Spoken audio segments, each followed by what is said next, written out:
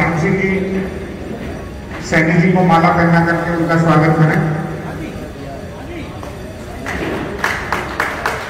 दिनेश शर्मा जी आए भवानी माला पहना करके उनका स्वागत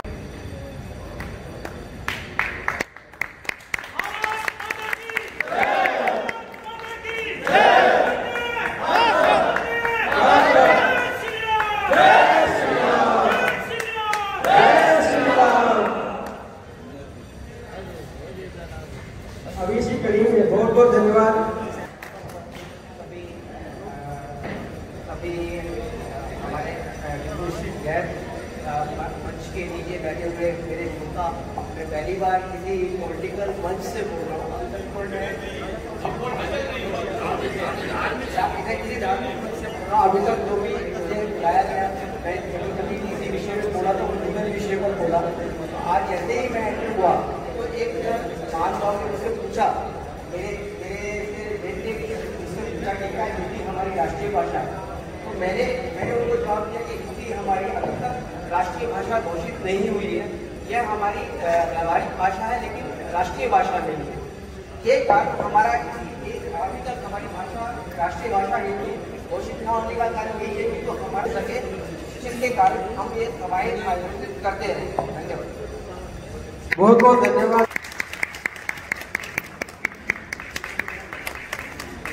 अनिल रावत जी, पगड़ी पहना का स्वागत करेंगे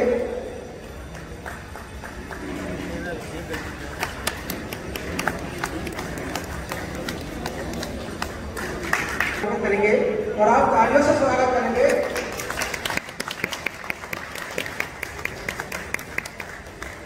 बहुत बहुत धन्यवाद जो आए और हर सबका मार्गदर्शन करे जय श्री राम।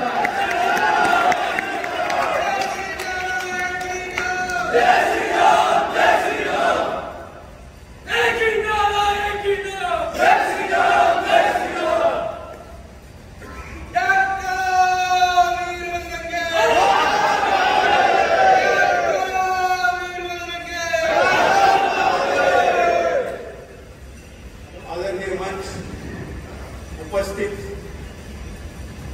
प्रमुख अतिथि गंगा शंकर जी जो विश्व के सबसे बड़े हिंदुओं के सांस्कृतिक संगठन आरएसएस के संपर्क प्रमुख हैं धनंजय सिंह जी जिन्होंने अभी अभी अपने बहुत अच्छे विचार यहाँ पर रखे जो सहकारिता प्रकोष्ठ के प्रमुख हैं दीपक कंसल जी, जिन्होंने बैंक के तौर पर बहुत अच्छा काम सर्वोच्च न्यायालय में याचिका दाखिल करके किया है।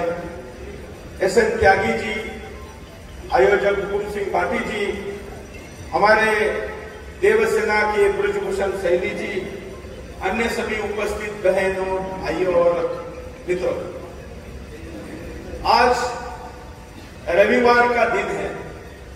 और वैसे तो परिवार के साथ छुट्टी मनाने ये देर से उठने वाला दिन और इस समय में भी अगर कोई धर्म की चिंता करने के लिए एकत्र आया है तो उसके लिए सुरेश चौहान के दिल्ली से चलते रहे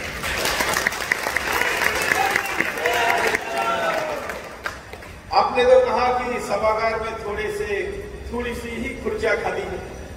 मैं कहता हूँ कि अगर जागने के लिए एक भी हिंदू तैयार है तो सुरेश चौहान के दुनिया के किसी भी कोने में उसके पास जाने के लिए।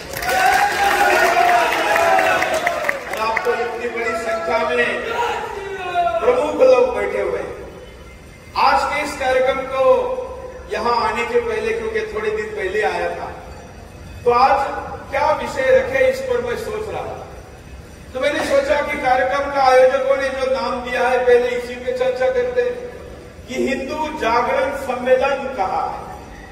तो इसका मतलब हिंदुओं का जागरण करने जाना है। तो कौन है हिंदू? अगर हम जनसंख्या के आधार पर कहेंगे तो कहने के लिए तो हम 80 परसेंट है। कहने के लिए हम सौ करोड़ है। लेकिन क्या केवल जन्म से हिंदू, इनको हिंदू मानेंगे? क्या केवल नाम से हिंदू अगर कर रहे कहना चाहिए? लेकिन जब मैं धर्मांतरण कहता हूँ तो राष्ट्रांतरण कैसे होता है? तो अगर कोई ईसाई बन जाता है तो ईसाई बनने के पहले उसके जो आराध्य थे, कोई प्रभु श्री राम थे श्री कृष्ण थे, या अन्य जिसको भी वो मानता था, या भले ही नहीं मानता था, नास्तिक था, लेकिन उसके आराध्य, यहाँ थे। लेकिन जैसे ही वो ईसाई बन जाता है तो उसका सबसे पुण्य स्थान उसके लिए कौन सा हो जाता है? वेटिकन हो जाता है रोम हो जाता है। तो उसकी धार्मिक निष्ठा हिंदुस्तान से निकल जाती है। उसको अयोध्या के प्रति, उसको मथुरा के प्रति, उसको हरिद्वार के प्रति, उसको हिंदुस्तान के धार्मिक स्थानों के प्रति पुण्य भाव नहीं रहता। उसका पुण्य भाव कहा चला जाता है? उसकी पुण्य भूमि हो जाती है वेटिकन कोई मुसलमान बन जाता है तो उसकी पुण्य भूमि क्या हो जाती है? Mecca, Medina. फिर उसको लगता है कि, और वैसे भी कहते हैं ना कि नया, जो नया मुल्ला होता है, ज़्यादा ज़ोर से बाँध लगाता है। क्योंकि क्योंकि उसको साबित करना होता है कि मैं पक्का मुसलमान हूँ। और इसलिए निष्ठा बदल जाती है, उसकी पुण्य भूमि बदल जाती है, और वो पुण्य भूमि को मानने लगता है उधर। और इसलिए घर बनाएगा तो उसका मुख इधर, मक्का मदीना की तरफ़। वो झुकेगा ईश्वर को मानने के लिए तो मुख इधर, मक्का मदीना की तरफ़। और अब तो हलाल सर्टिफिकेशन का दौर चल रहा है हिंदुस्तान में। ऐसे ऐसे अपार्टमेंट बन रहे हैं कि जिनको कहा जाता है कि हलाल सर्टिफिकेट अपार्टमेंट है रेसिडेंशियल कॉलोनीज है। मतलब हर घर का दरवाज़ा किधर खुलता है? मक्का मदीना की तरफ़। और इसी को राष्ट्रांतरण कहा जाता है, क्योंकि आपकी जब पुण्य भूमि की संकल्पना बदलती है, स्थान बदलता है तो राष्ट्र भावना कमज़ोर होती है और आपको फिर पाकिस्तान अपना लगने लगता है। फिर आपको मक्का मदीना अपनी लगने लगती है, फिर आपको वैटिकन अपना लगने लगता है, फिर आपको रोम अपने लगना लगता है। कोई अपना लगे, उसमें ज़्यादा चिंता नहीं, लेकिन हिंदुस्तान पर लगने लगता है। यह हमारी चिंता का विषय है और इसलिए हम कहते हैं कि पुण्य भूमि हुई इस हिंदुस्तान को मानने वाला। अब दुनिया में कुछ उदाहरण लीजिए इंडोनेशिया, हम सबको पता है। इंडोनेशिया भी वैसे धार्मिक आधार पर, मजहबी आधार पर इस्लामिक हो गया है बहुसंख्यक हो गया। कभी ईरान से लेकर इंडोनेशिया तक हमारा ही विचार था। लेकिन वहाँ पर आज भी जो करेंसी है नोट है, उस पर माता लक्ष्मी है वहाँ पर आज भी वहाँ की एयरलाइंस का नाम गरुड़ है। वहाँ पर रामायण, उनका धार्मिक ग्रंथ है। उनके घरों में रामायण की पूजा होती है। उन्होंने पूजा पद्धति बदली, लेकिन अपने पूर्वज नहीं बदले। दुर्भाग्य से हिंदुस्तान के मुसलमानों ने अपने पूर्वज भी बदल दिए और इस पर हमारी आपत्ति थी है और है। क्यों? क्योंकि फिर आप हमारे भाई ने हम कहते हैं ना कि भाईचारा होना चाहिए भाई यदि दक्षिण से निकले। अभी ही छह तारीख को उनकी पुण्य जयंती विश्वभर में मनाई गई और उन्होंने इस सोए हुए समाज को, अपना पौरुष्य खो चुके समाज को, अपना परिचय पहचान खो चुके समाज को, जो कि भटक गया था, उसका पुरुषार्थ, उसके अंदर का काम भी समाप्त हो गया था। क्योंकि उन दिनों आए हुए विचारों ने कहा कि अरे, तुमको करना क्या है? कुछ नहीं है। निराशा का माहौल था। बौद्ध के विचार से लेकर अन्य विचारों का भ्रम फैला हुआ था और अपने आप को कोई हिंदू कहने के लिए बचा हुआ था। लेकिन पच्चीस सौ उनतीस वर्ष पहले शंकराचार्य जी आए और उन्होंने अद्वैत का सिद्धांत रखा और उन्होंने कहा कि तुमको ईश्वर को ढूँढने के लिए आग बंद करके कई गिरा पहाड़ियों में जाकर बैठने की आवश्यकता नहीं। तुमको अपने शरीर को ताप देकर लंबे उपवास, प्राण लेने वाले उपवास करने की आवश्यकता नहीं। तुमको किसी विदेशी भगवान की तरफ़ या विदेशी मैसेंजर की तरफ़ देखने की आवश्यकता नहीं। उन्होंने कहा, अद्वैत का सिद्धांत दिया और उन्होंने कहा कि हर हिंदू के अंदर ईश्वर है और हर हिंदू ईश्वर बन सकता है। हमारी जो यात्रा है, वो जो ईश्वर तत्व हर हिंदू के अंदर है। उस तत्व से ईश्वर पद बनने तक की हो सकती है। अद्वैत का सिद्धांत दिया, पूरा हिंदू समाप्त हो चुका था, लेकिन युवा शंकराचार्य जी केरल से निकले, देश में चार पीठों की स्थापना की और पुनः हिंदू समाज को जगाया और पुनः पूरा हिंदू, ये देश हिंदूमय कर दिया। ये हो चुका है। और इसलिए आज अगर कोई सोच रहा है कि हम संख्या में घट रहे हैं, इसलिए हम मिट जाएँगे। तो इसकी चिंता करने की ज़रूरत नहीं है। हम हाँ ये सच है कि हम जहाँ जहाँ घटे हैं, वहाँ वहाँ पर देश टूटा है। हमको घटना मंजूर नहीं है, लेकिन हम जाग सकते हैं। हम, भाई, हरियाणा तो इसलिए भी जाना जाता है कि यहाँ पर महाभारत का युद्ध हुआ। तो कौरव कितने थे? कितने थे संख्या में कौरव? और पांडव कितने थे? संख्या में तो कम थे ना। लेकिन कौरव सौ थे पांडव पाँच थे इसके उपरांत भी विजय किसकी हुई? पांडवा किसकी हुई? पांडवा की। पांडव की। क्योंकि क्यों? क्योंकि योगेश्वर उनके साथ था सत्य उनके साथ था। आज इस लड़ाई में भले ही संख्या में हिंदू दिखने में ज़्यादा हो लेकिन लड़ने वाला हिंदू तो पांडवों जैसा संख्या में कम है यही सत्य है। लेकिन ये भी सत्य है जो चिरातन हिंदू धर्म का ज्ञान, गौरव, वैभव, इसका सत्य किसके पास है? आज पांडव रूपी कम संख्या में बचे हुए हिंदू के पास है और इसलिए गौरव भले ही दुनिया भर में ज़्यादा बोल रहे हो, लेकिन मैं दावा करता हूँ इस बलराम भूमि से कि विजय हिंदू की ही होगी, विजय हिंदू की ही होगी और विजय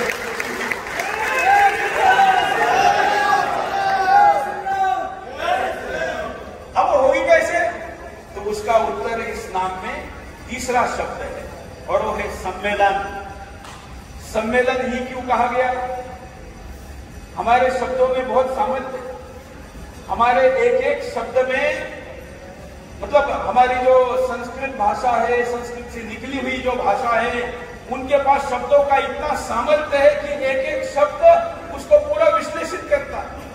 ये सम्मेलन है मतलब मिलन है। अब मिलन किसका करना है? पहले मैंने कहा हिंदू कौन है? उसको पहचानना है। उस हिंदू के खोए हुए पहचान को जगाना है मतलब जागरण करना है। और वो जागरण करने के लिए सम्मेलन करना है। तो सम्मेलन किसका करना है? बिखरे हुए हिंदू का सम्मेलन। यही इस युग की सबसे बड़ी आवश्यकता है। और इसलिए कहा जाता है कि संघ शक्ति कली हुए जो संगठित है, वही विश्व पर राज कर सकता है। डेमोक्रेसी भी क्या है? लोकतंत्र का मतलब भी तो यही है, जो संगठित है, उसकी सत्ता है। आप अगर बिखर जाओगे तो आप संख्या में कितने भी हो तो आपकी सत्ता नहीं रहेगी। लेकिन डेमोक्रेसी के, लोकतंत्र के कुछ फ़ायदे हैं तो लोकतंत्र के कई नुकसान भी क्या नुकसान है? नुकसान ये है कि यहाँ पर सर गिने जाते हैं। सर के अंदर क्या है, वो नहीं गिना जाता। यहाँ पर नंबर गिने जाते हैं। मतलब संख्या गिनी जाती है, लेकिन क्वालिटी नहीं गिनी जाती। जिसके पुरखों ने अपना सर्वस्व दे दिया, जिन राजाओं ने अपना सारा राज्य देश के लिए दे दिया, उसका वोट भी कितना है? एक। और जो आप सब्सिडी की खिचड़ी रोज खा रहा है, उसका वोट भी कितना है? एक। जो इस देश के लिए बलिदान देने वाले किसी सैनिक का पिता है, उसका वोट कितना है? एक। और भारत तेरे टुकड़े होंगे गैंग के। किसी बच्चे का बाप है, उसका वोट भी कितना है? एक। तो यहाँ पर क्वालिटी का मैटर नहीं है क्वांटिटी का मैटर है। और इसलिए लोकतंत्र में सत्ता आपके पास रहे, इसके लिए आपको क्वांटिटी भी ज़रूरी है।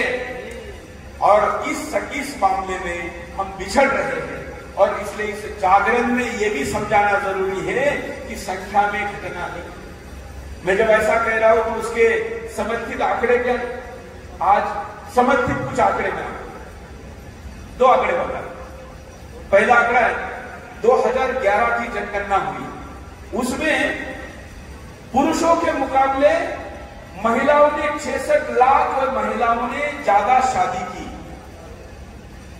अब जो कहे ना, मैं कई कई चेहरों पर प्रश्न दिख रहा हूँ। छिसठ लाख महिलाओं की शादियाँ पुरुषों से ज़्यादा हुई। वही शादी तो पुरुष और महिला के बीच में होती है। तो भी छिसठ लाख महिलाओं की शादी ज़्यादा कैसे होगी इसका मतलब एक पुरुष ने एक से ज़्यादा महिलाओं से शादी की। और वो संख्या कितनी है? छसठ लाख। अब एक पुरुष एक से ज़्यादा महिलाओं में शादी 2011 के दशक में करता है तो फिर वो कौन है? हिंदू है क्या? हिंदू तो नहीं करता। अपवाद भी छोड़ा जाए तो नहीं करता है। तो फिर कौन है मुसलमान? इसका मतलब मुसलमानों ने मुसलमान ही कहिए मुसलमान महिलाओं से भी शादी की तो 66 लाख ज़्यादा महिलाओं से शादी की तो जो बचा हुआ दूसरा मुसलमान है, उसको शादी करने के लिए गैर मुसलमान महिला की ज़रूरत पड़ी। और एक दशक में वो आंकड़ा कितना है? छसठ लाख। मतलब प्रतिवर्ष कितना हो गया? दस वर्षों में छिसठ का मतलब कितना हो गया एक महीने में? एक वर्ष में। छह लाख छह लाख का एक वर्ष में तो महीने का कितना हो गया? पचास हज़ार। पचास हज़ार हिंदुओं की लड़कियों को लाना मुसलमान की आवश्यकता हो गई। यही तो लव मतलब आपने ऐसी व्यवस्था क्रिएट की गई है कि उससे लव जिहाद उसको करना ही पड़ेगा। और हमारी बेटी को वो लेकर ही जाएगा, तभी तो विवाह कर पाएगा, नहीं तो कैसे कर पाएगा? तो एक तरफ़ ये विवाह तो इसके लिए करना क्या पड़ेगा? इसको रोकना है तो करना क्या पड़ेगा? एक पुरुष को एक ही पत्नी करने का कानून इस देश में लाना पड़ेगा। बहु विवाह पर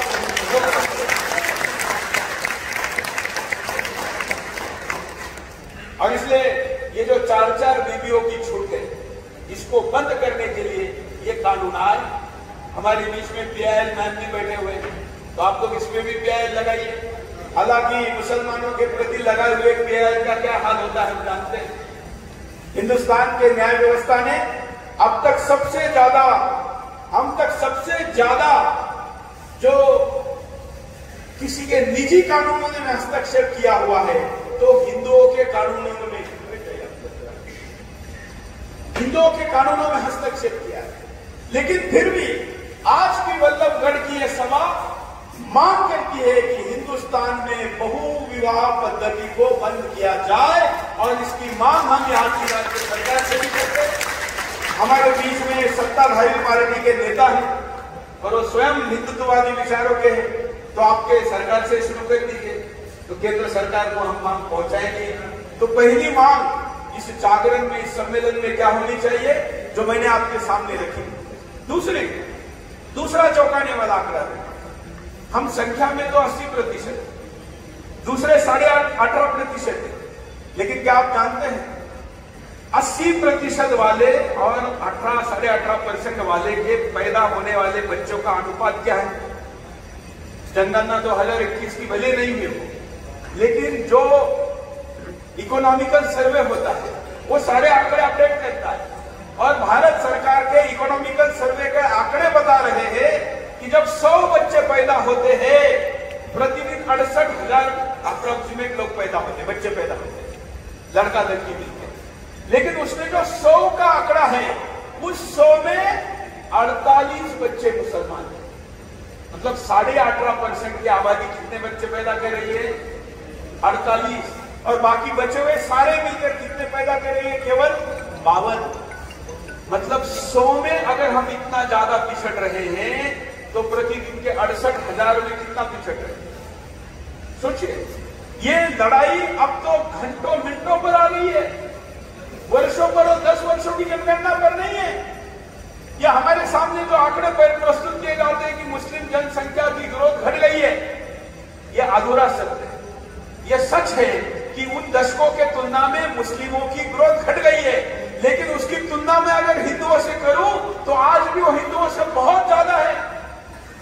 किसी भी कम्युनिटी को अपना अस्तित्व बनाए रखने के लिए समाज शास्त्र का नियम बना रहा हूँ। कोई संघ का या सुरेश चौहान के का नियम नहीं है।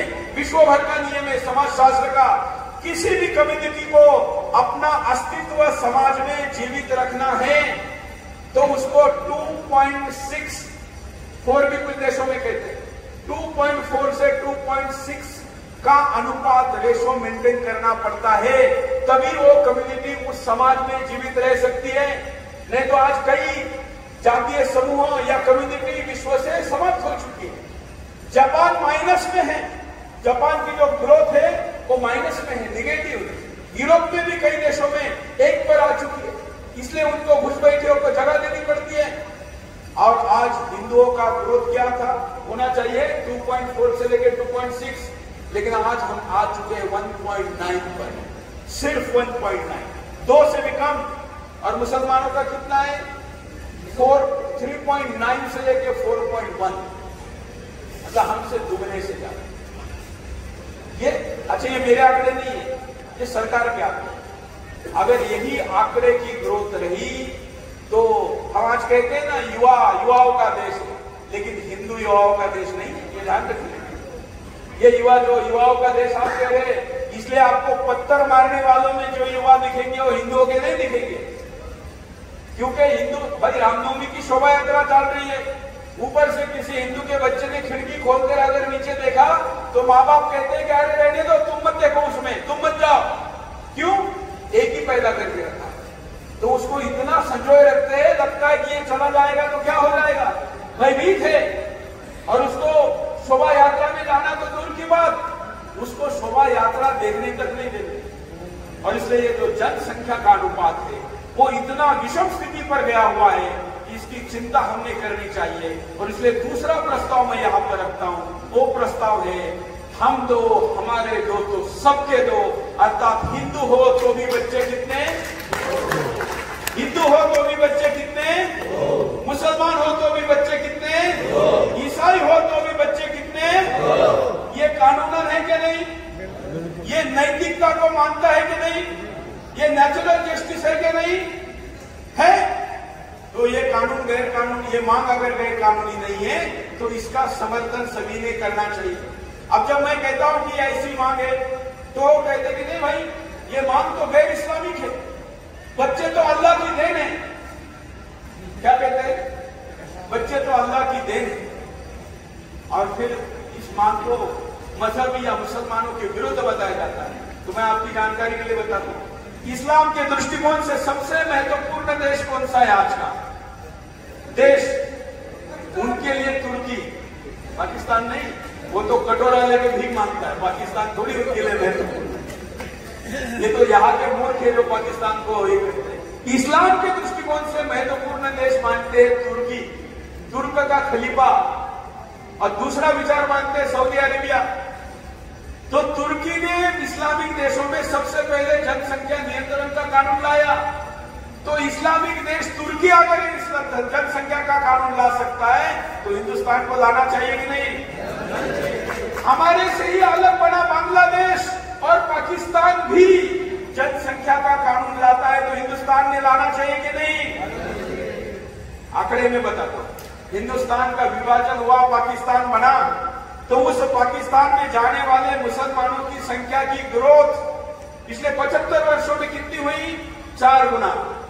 मतलब जितने मुसलमान पाकिस्तान बना, सब थे और संख्या में कितने बड़े चार गुना।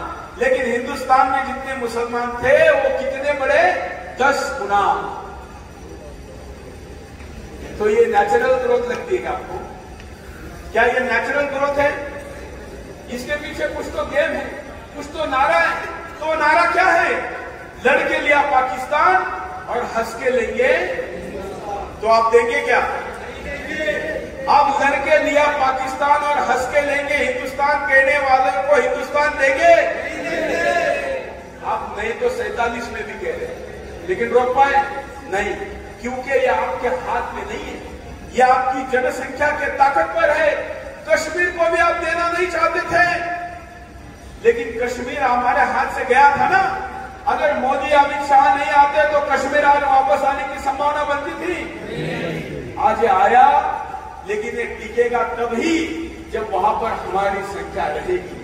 हमारा कश्मीरी वापस जाएगा, कश्मीर में बैठेगा, जनसंख्या का अनुपात ठीक होगा, तभी कश्मीर दोबारा बचने की संभावना आज हरियाणा का मैं जहाँ पर खड़ा हूँ यहाँ से मेवात कितना है? बीस किलोमीटर। मेवात की क्या हालत? मेवात हिंदुस्तान का कानून चलता है क्या मेवात? हमारी पोलिंग जा पाती है। अगर मैं अभी घोषित कर दूँ कि मुझे मेवात में जाना है तो सबसे पहले कौन रोकेगा? मुसलमान नहीं, कौन रोकेगा? पुलिस रुकेगी। क्यों? वो कहेगी वो संवेदनशील क्षेत्र है। मुझे समझ में नहीं आता। हिंदुस्तान के सारे संवेदनशील क्षेत्र जहाँ पर मुसलमान ज़्यादा है वही क्यों है? और अगर जहाँ पर मुसलमान ज़्यादा है वही संवेदनशील क्षेत्र बनते हैं तो कल हिंदुस्तान में मुसलमान ज़्यादा हो जाएँगे तो पूरा हिंदुस्तान संवेदनशील क्षेत्र बन जाएगा। मंजूर है? नहीं। इसलिए आपके नहीं कहने पे निर्भरता नहीं है। अगर निर्भरता किसी पे है तो जनसंख्या के अनुपात पे है और इसलिए ये जनसंख्या का कानून आना चाहिए। ये कानून लाने के लिए क्या होना चाहिए? डेमोक्रेसी की मांग क्या है? जनता ने मांगना तो मैं आपके जानकारी के लिए बताऊँ। हमने 2017 के 15 नवंबर को इस कानून की पहली बार मांग की। 18 फरवरी को जम्मू कश्मीर से यात्रा शुरू की।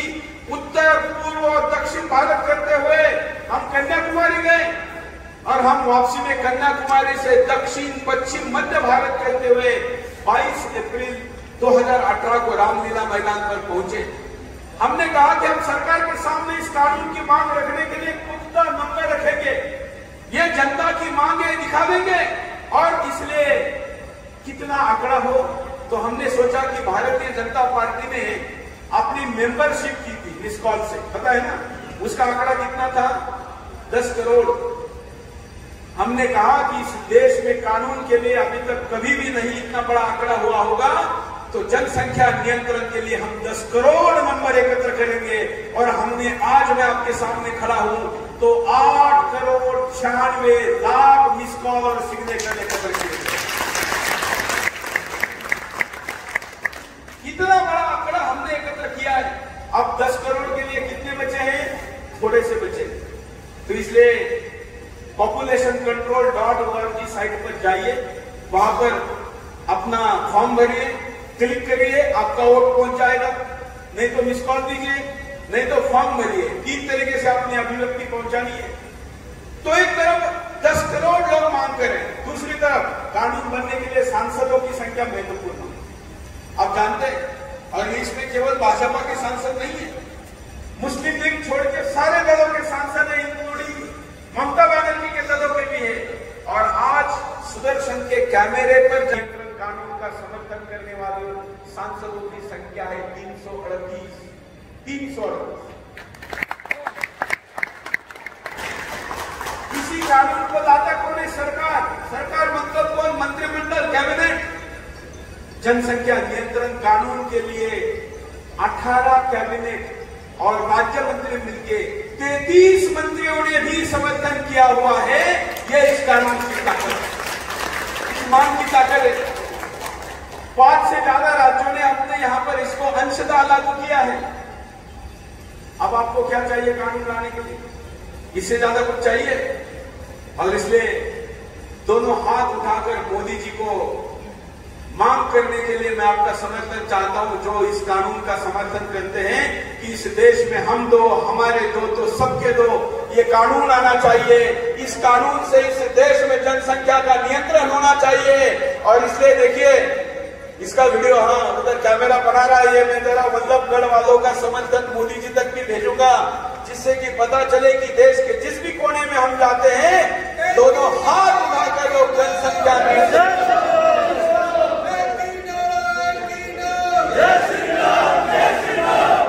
और इसलिए हिंदू जन जागरण सम्मेलन और सम्मेलन से ये मांग ये मैंने आपके सामने रखी ताकि हिंदुस्तान हिंदू राष्ट्र बनना चाहिए। अब बनना चाहिए मतलब ये नहीं है क्या? ऐसा मैं कह नहीं सकता, क्योंकि मैं स्वयं से हूँ डॉक्टर हेडगेवार जी का। डॉक्टर हेडगेवार जी ने क्या कहा है? यह हिंदू राष्ट्र था, यह हिंदू राष्ट्र है, और यह हिंदू राष्ट्र रहेगा। फिर करना क्या है? करना यह है कि इस हिंदू राष्ट्र को हिंदू राष्ट्र घोषित करना है। अब घोषित किसने करना है? किसने करना है? सरकार ने। दोनों ने करना है जैसे किसी गाँव के, शहरों के नाम बदलने के लिए हमारा, मैं तो ये कहता जैसे महाराष्ट्र में लोग औरंगाबाद कहते हैं, मैं कभी नहीं कहता। मैं उसको संभाजीनगर कहता हूँ। और ऐसा कहने वाले महाराष्ट्र में करोड़ों लोग हैं। अहमदनगर हम कभी नहीं कहते, नगर कहते मैंने कभी इलाहाबाद नहीं कहा, नाम अभी बदला है, प्रयागराज कहता हूँ। मैं कभी अलीगढ़ नहीं कहता था अलीगढ़ ही कहता हूँ, भले नाम अभी बदला है। हमने आज से कहना है कि ये क्या है? हिंदू राष्ट्र। अब मेरा विजिटिंग कार्ड देखेंगे तो मैंने उसके ऊपर ये लिखा हुआ।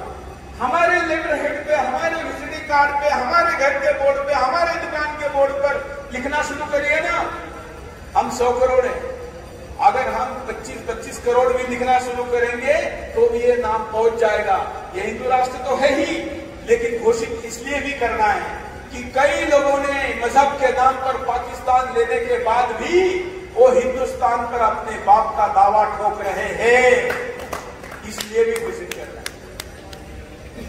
मज़हब के नाम पर पाकिस्तान दे दिया। दोबारा हिंदुस्तान का कोई टुकड़ा देंगे क्या?